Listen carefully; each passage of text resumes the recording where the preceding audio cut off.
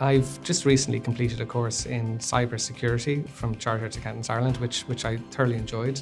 Uh, I, got, I, got involved in it because uh, I was recently taken up a role in cybersecurity. The practical aspect was, was outstanding. They could tell you in this scenario, this is what you should do, or this is the experience of what we've learned from real life examples. So that was really that was really useful. I found it uh, quite unique because I haven't seen that in other type courses that I've uh, I, have done before. I've, I've done a number of courses with uh, with Chartered Accountants Ireland, and I've always found them excellent. Uh, for for me, it's it's almost like a go-to place just to see what's what's there, what's on offer, and if I need some sort of education, I, I always know I'm going to get a high quality standard there.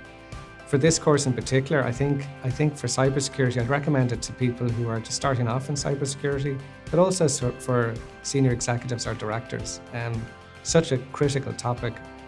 It, it's not too in-depth for any director or any senior executive to learn about cybersecurity. I think this course will be very, very practical, and very beneficial.